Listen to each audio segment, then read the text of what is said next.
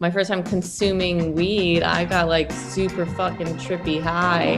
My I was with like my sister and my friends and they did like the box trick and I don't know if you guys know the box trick, but it only works when you're like in a group of your friends and they say that they have this like invisible box and everyone around you has to be talking and they're in on the joke. So there's an invisible box and then they put the invisible box on the really stoned person and then every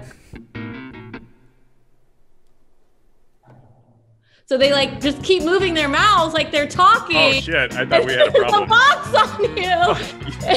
he's, You, he's like, well, you you're totally not- I was like, what's that? I was like, uh, oh, because we had a we had a problem last week where we dropped out. I'm like, oh shit, you dropped You made out my right heart now. skip a beat for a second. I was like, I, I and like I immediately like got a text from the producers, and I was like, fuck, fuck, fuck. fuck.